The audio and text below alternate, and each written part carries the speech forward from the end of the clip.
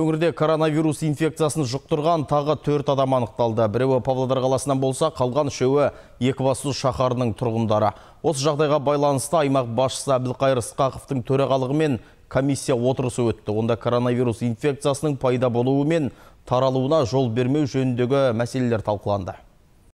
Павлодар облысында індетті жұқтырғандардың 78 пайызы науқастан айығып емделіп шықты, ал қалған 19 пайызы әлі ем алуда. В настоящее время в области действует Қазіргі таңда Павлодар облысында 5 зертхана жұмыс істеп тұр. Ұлттық зерттеу орталығының филиалдарымен қатар ішкі ресурстар арқылы аппараттардың санын 2-ден 5-ке дейін ұлғайттық. Олардың көмегімен енді тәулігіне 1700 тест жасауға мүмкіндік бар. Бүгінгі күні 35 мыңнан аса ПЦР зерттеулер жасалды. Вирус ошақтарында сынама 100% жасалады. 35 824. Соңғы мәлімет бойынша Павлодар облысында COVID-19 індетін 191 адам жұқтырған. Алты науқас ауыр жағдайда. Олардың үшеуі жасанды тыныс алу аппараттарына қосылған. Бүгінгі таңда тіркелген төрт жағдайдың біреуі Павлодар қаласының 1978 жылғы азаматынан анықталды. Ол Ресей Федерациясы Омбы қаласында вақталық әдіспен жұмыс істейтін болып шықты. Ресейден Қазақстанға өткен уақытта Железин аудандық ауруханасының жедел жәрдем бригадасы оны облыстық туберкулезге қарсы балалар санаторийінің карантиндік стационарына жеткізді. Вирусты жұқтырған қалған үш ер адам Екібастұз қаласының 1992, 1971 және 1969 жылғы тұрғындары. Барлығы коронавирус бұған дейін анықталған адамдармен қарым-қатынаста болған. Комиссия отырысында облыстық бас санитарлық дәрігері Зәмзагүл Досжанова өңірде бетперде режимінің бұзылғандығын алға тартты. Аймақта вирусқа қарсы шаралар жүргізілгенімен қоғамдық орындарда, көліктерде, адам көп жиналатын жерлерде санитарлық талаптар сақталмайды. Тұрғындар бетперде тағу режимін бұзып, әлеуметтік қашықтықты ұстанбай дезинфекциялық талаптарды сақтамайды. Бұған жүргізілген рейдтер дәлел.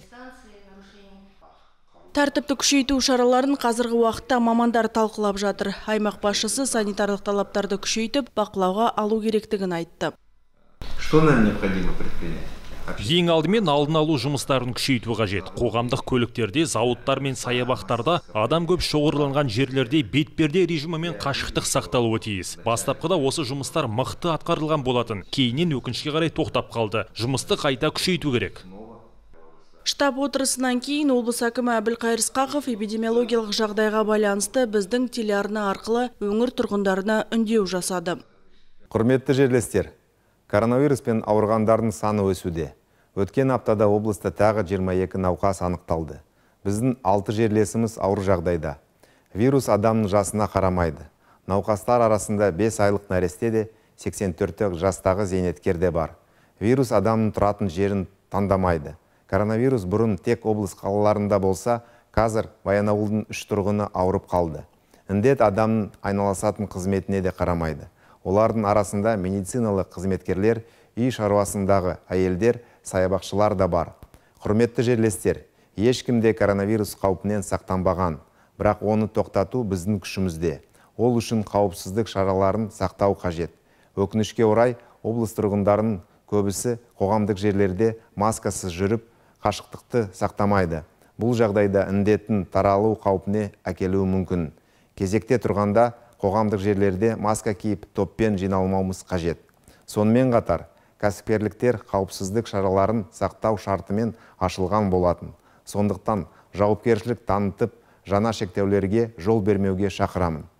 Біз қаншалықты тәртіпті болсақ, соншалықты тез қалыпты өмірге қайта ораламыз. Өзіңізге, жақын адамдарыңызға және қоршағандарға қамқорлық жасаңыз. Деніңізге саулық тілеймін. Әйгерім Бозанбаева, Незбек Смағұл, Ертіс ақпарат.